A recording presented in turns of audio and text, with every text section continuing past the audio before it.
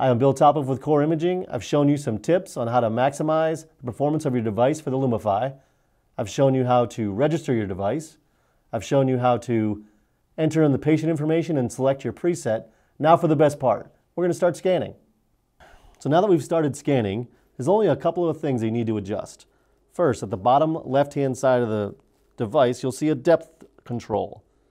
Scroll up or down and that adjusts the depth. The top left part of the screen will tell you how deep or shallow the image is. Next to that is the gain. That's the overall brightness of the image. Again, you just roll it up, roll it down, and that adjusts your gain.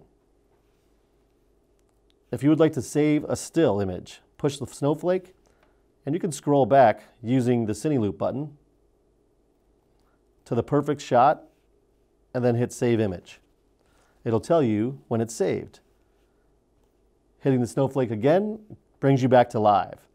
If you want to save a Cine loop, just simply push the Save Loop button while you're scanning. It'll save a few seconds, and when it's done, it'll tell you the loop was saved. If you want to go full screen for a larger image, push the little arrows in the bottom right-hand corner of the screen. That gives you a full image on the screen, a much larger picture.